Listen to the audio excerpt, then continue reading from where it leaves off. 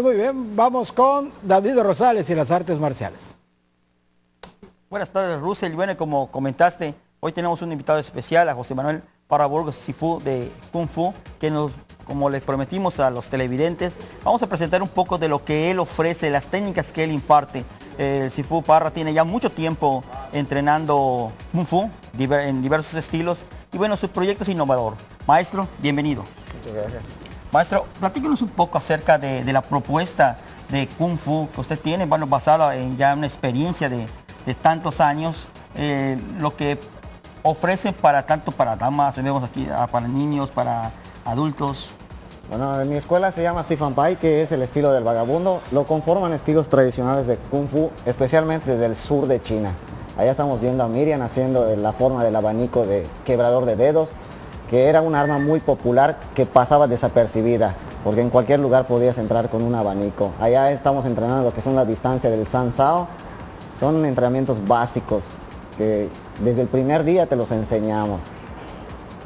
Bueno, y esto, maestro, veo que es eh, pues muy, este, muy tradicional también y también eh, muy enfocado a, la época moderna.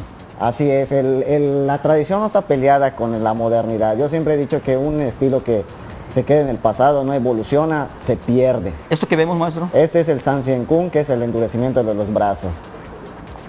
Bueno, es interesante recordar eso, vemos defensa personal. Defensa personal aplicada, especialmente femenina. Sabemos que las mujeres, sin, entrar en ser misóginos, sabemos que las mujeres son un poco más, menos, tienen menos masa muscular y menos fuerza. Entonces aquí aplicamos con técnicas de evasión, como ella simplemente se quita un agresor. Ahí está, ya lo pueden ver. Esa es una técnica de Tai Chi muy popular que con Tai Chi también se puede defender a una persona. Es muy interesante, maestro, porque muchas veces hay gente que considera que el Tai Chi Chuan o el Tai Chi eh, solamente es terapéutico. No, el Tai Chi es el arte marcial supremo, lo que pasa es que no lo conocemos y ya la gente que lo practica, por lo general es gente grande, pero si lo, lo practica una persona pequeña, se da cuenta que es un arte marcial extremadamente poderoso. Esta es la forma de los puños de acero, es una forma, la forma básica del fungar ese es del estilo, de los estilos bases que manejamos en el, en el Sifan Pai. Bueno, y esto tengo entendido, este estilo es considerado uno de los más fuertes del Kung Fu. Así es, todos los estilos sureños tienen la, fama de lastimar mucho. El estilo norteño es, mucha, es muy espectacular aquí, como se debe enseñar todas las formas, sea cual sea el estilo, con la aplicación en combate para que el alumno no le pierda las ganas de aprender la forma. La forma tiene que tener, la forma era la sombra de la, de la antigüedad. Qué interesante es esto, porque muchas veces hay gente que piensa que las formas son solamente movimientos al aire sin ningún objetivo y acá nos explica el Sifu la potencia de esto técnicas de ese es, el Sanda, que es el combate deportivo del Kung Fu. El combate deportivo del Kung Fu es muy popular llamado boxeo chino o kickboxing chino.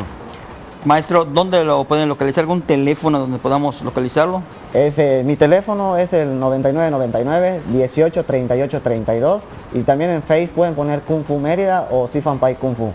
Muy bien, pues ya lo vieron este, televidentes, esto es lo que ofrece el maestro, técnicas realmente eficaces y con una trayectoria ya muy amplia dentro de las artes marciales. Tenemos mucho más, pero regresamos los micrófonos ya para el final del programa con Russell Gutiérrez.